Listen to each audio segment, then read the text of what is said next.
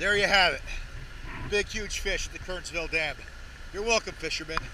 So if I was you, I'd be right over in that area, right there. Right all along here.